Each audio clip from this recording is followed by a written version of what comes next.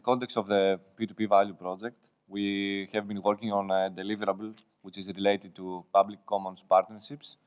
And uh, today I will present you two cases that uh, we have been investigated, namely the Greek and the Ecuadorian case.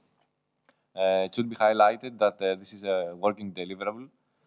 So, and it is expected that uh, the deliverable will be finalized by the end of the month and uh, it will be available on the P2P values website. I will need this one. Okay, so uh, uh, why Greece and Ecuador? Uh, the Greek case was selected because uh, there has been an effort to promote uh, a commons-oriented agenda by the newly uh, elected government of Syriza.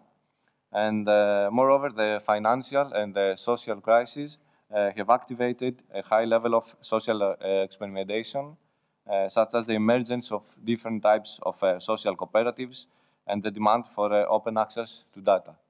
Um, regarding the case study of Ecuador, uh, it was uh, selected due to the global originality of the Free Libre Open Knowledge Society project, uh, which took place in 2013 and 2014.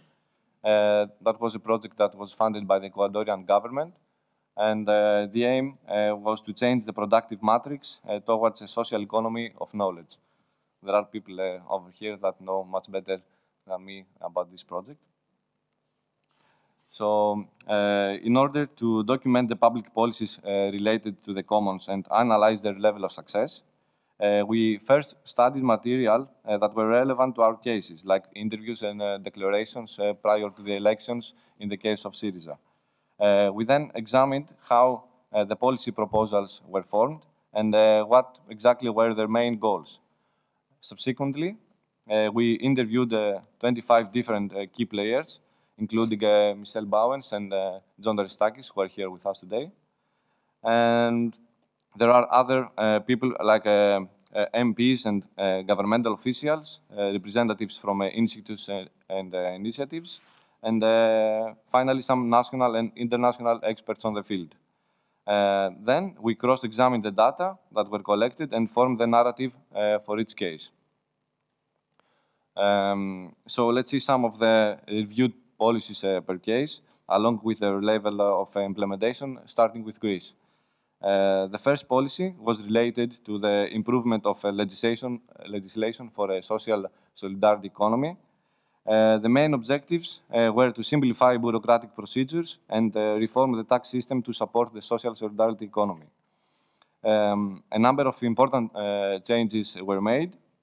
For example, the time needed for the approval of a new cooperative was decreased from eight months to one.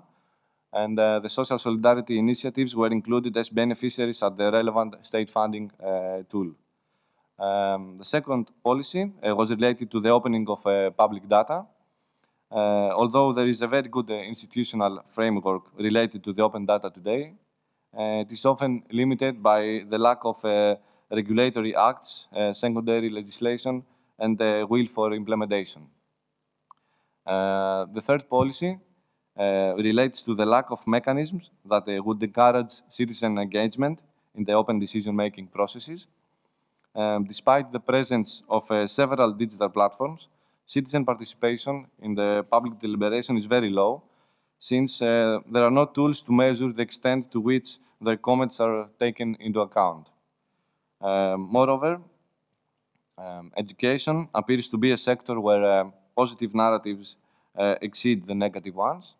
Uh, there are uh, recorded efforts to advance awareness on the open source philosophy in both a governmental, institutional, and grassroots level, but they are not particularly interconnected. Um, in addition, uh, while uh, public policies on uh, open data in Greece are gradually improving, this was not the case for the open source and open hardware cases. Um, relevant uh, legislations are prepared, uh, but there is a lack of uh, the necessary technical support at the moment. And last, the creation of an independent institute was proposed, which would provide education and a forum for social solidarity initiatives and also conduct research. Uh, however, uh, this is not currently included in the governmental priorities due mainly to financial uh, issues. uh, moving to the case of uh, Ecuador, this table presents the key public uh, policies that were uh, reviewed in that case.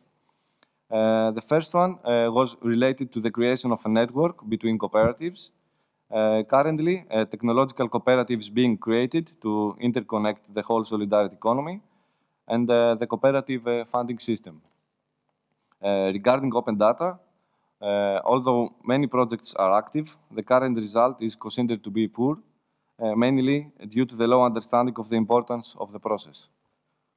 Mm. Another difficulty that was reported is that uh, government did not feel very comfortable uh, with uh, open participation, especially when uh, such processes could directly affect the final decisions. Um, in addition, various training actions on several sectors were realized to educate people and uh, trigger the interest of institutions for the implementation of the proposals. Um, also, um, a macro factory for open farming machines was, uh, was initiated in the city with uh, the support of the mayor. Uh, this, the project started uh, in a dynamic way, but uh, soon went down due to the lack of financial support. And last, an institution uh, was created to facilitate the migration uh, towards free software. Uh, it is estimated that the project will be fully implemented in all ministries of the Sectoral Council of Knowledge and Human Talent by the end of 2016. So some uh, general uh, problems that uh, we identified in these two cases. Um, the first one is the ignorance of the open source issues or the underestimation of their importance. Also, uh, many interviewees uh, focused on the fact that there is no appropriate methodology to implement such policies. And um, uh, this can also be explained by the fact that the main problems appeared in the implementation phases. Uh, also, uh, there are no appropriate licenses, like uh, the case with open hardware. They're not available right now. And there are no trained staff or institutions to provide such training. Uh, last, uh, there has been an observa uh, observation related to the fragmented co-op co movement, especially in Greece. And some general uh, proposals. We are currently uh, working on this part of the deliverable, so it will be updated soon. Um, one proposal would be to promote uh, education and build awareness on social solidarity economy and the commons, especially to uh, political parties officials. Uh, second, we should uh, develop pilot projects in order to test our policies and ideally on a smaller scale and not that of the of a nation or state. Uh, also, we should uh, utilize existing resources rather than uh, building things from scratch. And we should align projects with existing funding programs of the European Union. And uh, we should also create incubators and uh, financing mechanisms for a commons-based peer production. And uh, I will close with a general uh, remark that might be of interest. So a lot of uh, interviewees uh, have mentioned that traditional left is usually aiming to empowering the state. Um, so commons might be perceived as reduction of the state's role, so they are usually treated with skepticism or even as a competitor. Um, so pre presenting the commons as a public good might uh, reduce the resistance of those holding a cautious attitude, uh, also demonstrate the usefulness of commons in the social field, and uh, open channels for uh, dialogue.